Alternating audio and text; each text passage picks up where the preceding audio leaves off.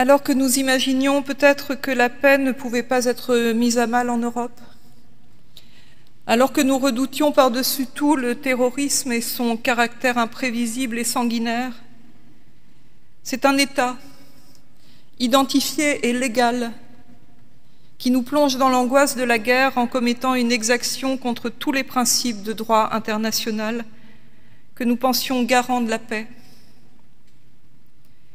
L'Ukraine est aujourd'hui sous les bombes et ses habitants, quand ils ne combattent pas pour résister à l'invasion, essaient de partir comme ils peuvent pour échapper à la destruction et à la mort. Le combat nous semble tellement inégal, et pourtant le petit État tient. C'est dans un dialogue inégal aussi que Job est mis devant sa faiblesse. Il est accablé de tous les maux. Il ne comprend pas. Et Dieu lui répond du milieu de la tempête. Dans son intervention, Dieu se montre implacable avec l'homme, pourtant déjà à terre. Et il lui dit, si tu te crois capable de connaître l'origine du mal, et si tu connais la façon de le combattre, alors prends ma place, je te la laisse, et écrase sur place les méchants cache-les tous dans la poussière, emprisonne-les dans le cachot. Dieu serait-il en train de dire à Job qu'il n'a pas le droit de réagir au mal qui l'accable? Ce n'est pas si simple.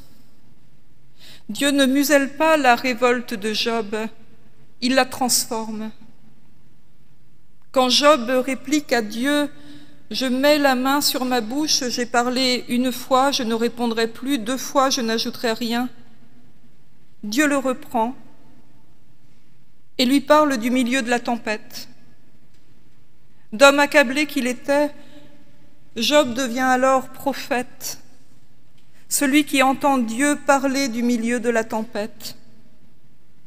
Cette mise en scène est une théophanie, une manifestation de Dieu qui annonce une parole de vérité, de jugement et de délivrance. Que dit-elle cette parole? Elle met au défi le pauvre Job, le juste, celui qui est fidèle et ne comprend pas pourquoi il est la cible du mal. Me condamneras-tu pour te justifier? En demandant à Job de se tenir prêt comme un vaillant homme, le Dieu du livre de Job demande à tous ceux qui se tournent vers lui dans la peur et l'accablement de rester debout et de continuer à se penser debout au milieu de la tourmente. Il en appelle à notre intelligence. Il convoque l'image de deux monstres pour ce faire, Béhémoth et Léviathan.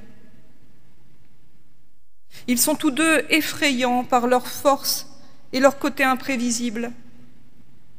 Béhémoth, les bestiaux en hébreu, c'est-à-dire la grosse bête mise au pluriel de majesté pour montrer sa puissance énorme. Elle est décrite comme un énorme hippopotame ou un buffle dont on essaierait sans succès de percer les naseaux pour y mettre un anneau. Léviathan, lui, est décrit un peu plus loin comme un crocodile du Nil. C'est le texte qui suit celui que nous avons lu.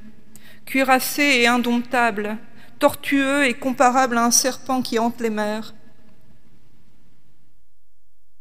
L'un terrestre, l'autre marin.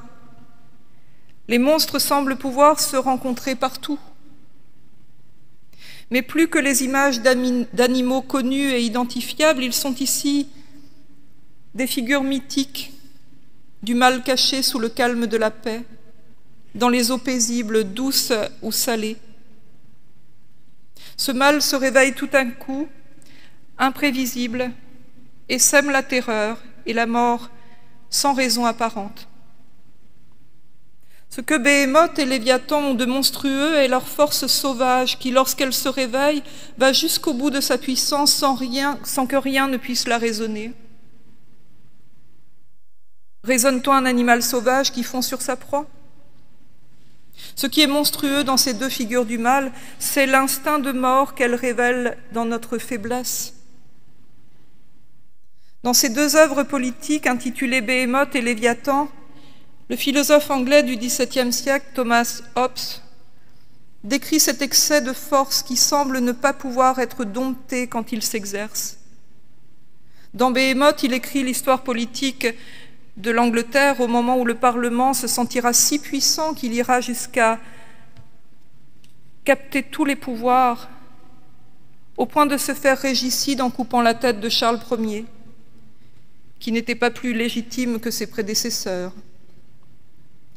Dans Léviathan, il décrit la force de l'État qui, pour dompter la cacophonie du collectif, domine tous les aspects de la vie des citoyens et endosse tous les rôles symboliques d'autorité, jusqu'à devenir une tyrannie qui concentre tous les pouvoirs.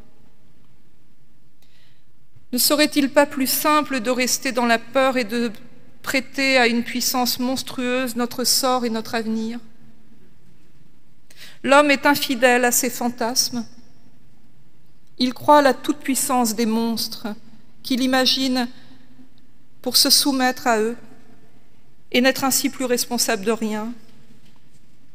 On est loin ici d'une saine humilité qui remettrait l'homme à sa juste place, ce n'est pas ça. C'est une capitulation devant l'épreuve, et cela Dieu n'en veut pas.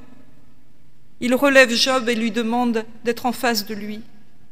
Dieu rappelle à Job qu'il a créé Béhémoth comme il a créé Job, et pourtant Job est accablé par le mal et Béhémoth semble si puissant. Dans ces deux images de puissance que l'homme est incapable de dompter, c'est la place de l'homme qui est rappelée. Dieu rappelle sa puissance. Et l'appel que cette puissance lance aux êtres humains est celui que Dieu lance à Job. Tiens-toi prêt comme un vaillant homme. En d'autres termes, sois mon vis-à-vis et ensemble nous combattrons le mal loin d'un Dieu tout-puissant, lointain et ami des monstres. Le Dieu de Job apparaît comme un créateur qui doit sans cesse maîtriser les forces du chaos, telles que Béhémoth et Léviathan. La paix ne semble jamais acquise, et à partir du chaos originel, Dieu crée un ordre. Il crée par séparation, il crée avec sa parole, cette parole distingue les éléments, les choses et les êtres, elle distingue pour pouvoir nommer, elle nomme pour pouvoir comprendre, elle comprend pour pouvoir choisir. Le ciel n'est plus la terre, l'animal n'est pas la plante et l'homme n'est pas la bête. Le monstre, lui, change d'ordre sans crier gare. Immergé dans les eaux troubles, il est au-dessous, au-dessus, aquatique et terrestre, tortueux, insaisissable. Le monstre est essentiellement chaotique. Il met la confusion là où on attendait un ordre qui permettrait la confiance et l'alliance. Il trahit sans crainte celui qui le croyait du même monde et son être tout entier utilise le mensonge. Ce n'est pas qu'il soit sans aucun ordre, même s'il nous apparaît tel, il est cohérent dans sa force et dans sa stratégie, mais il n'est pas du même ordre que celui de la vie. Le monstre transgresse et outrepasse. Il est séduit par sa propre puissance et en use sans limite.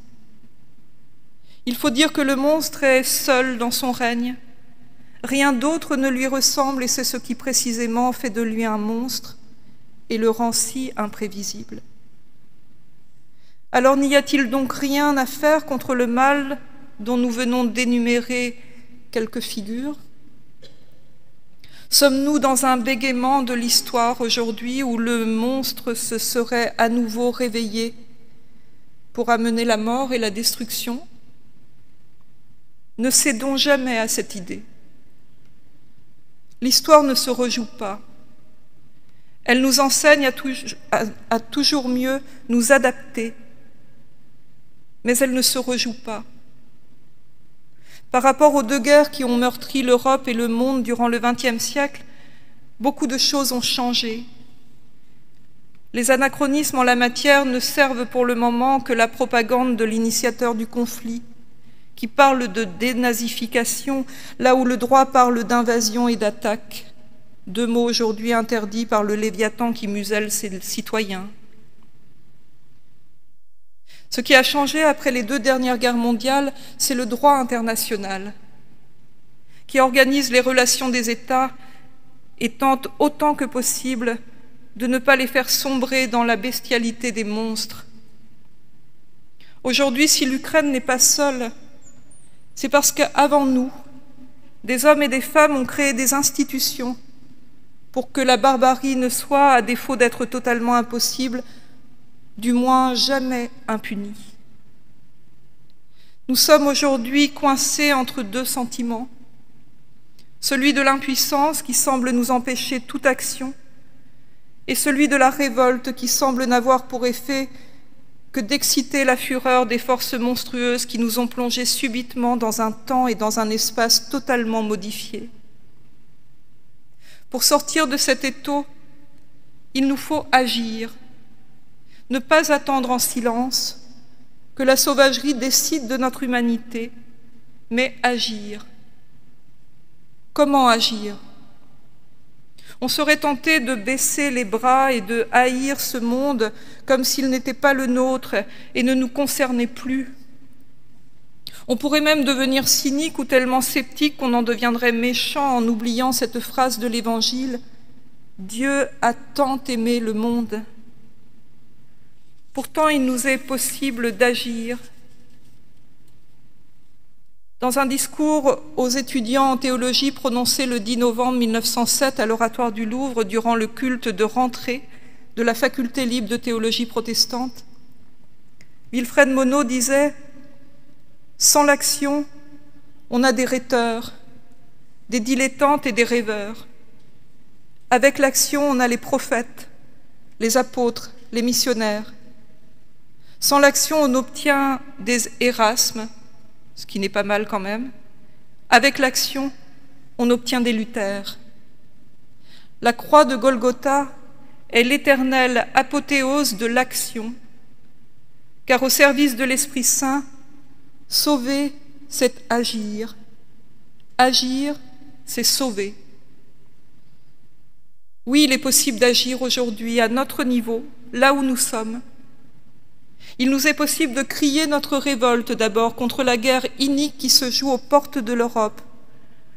Comme la veuve qui crie son désir de droit inlassablement à la porte du juge et qui fait, lui, la sourde oreille à ses appels, mais il finira par céder. Ils sont nombreux ceux qui, de par le monde, manifestent encore. Et hier, ils étaient nombreux ici en France à manifester contre une guerre dont ils ne veulent ni pour l'Ukraine ni pour aucun autre État de droit.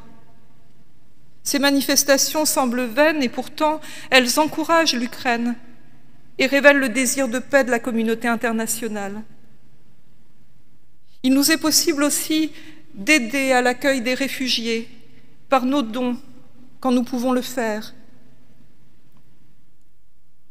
Nous avons un millier de personnes déjà qui euh, un million de personnes pardon, qui ont fui leur pays en ayant avec courage attendu le plus longtemps possible pour tenir contre l'envahisseur. On attend de 800 000 à un million de personnes encore qui devraient passer par la France dans les prochains jours, soit pour y transiter le temps de rejoindre d'autres pays, soit pour y rester le temps qu'il faudra. Un tel effort d'accueil ne se fait pas sans que chacun soit solidaire. Il nous est possible d'accueillir dans nos familles une femme, un homme, une famille, grâce à l'action que les associations organisent pour un accueil chez l'habitant, pour un mois, pour deux mois ou plus, avec un accompagnement social et un encadrement légal spécifiquement prévus. Bien sûr, ce n'est pas possible dans toutes les maisons, ni dans toutes les familles, et il ne faut pas se sentir coupable de ne pas pouvoir le faire. Mais il y a tant de façons d'aider. Il nous est aussi possible de parrainer des réfugiés qui sont en centre d'hébergement et qui ont besoin de s'intégrer en France et dans son fonctionnement, ils ont besoin de nous, Français, pour leur dire dans quel pays nous vivons. Toutes ces actions montrent déjà que si nous ne pouvons mettre un anneau dans le naseau du monstre pour le saisir, nous pouvons aider ceux qu'il avait choisis pour être ses proies. Et puis il est possible de se retirer dans sa chambre aussi, ou de venir au temple avec les amis de l'Église pour prier, pas pour nous débarrasser de notre responsabilité devant ce qui frappe notre histoire, mais pour que Dieu puisse faire son travail en nous, comme il l'a fait en Job, éclairer nos consciences, armer notre courage, aiguiser notre désir de justice, bref, faire de nous des prophètes de son amour pour la vie. Alors nous pourrons aimer ce monde et le rendre meilleur envers et contre tous les monstres. Amen.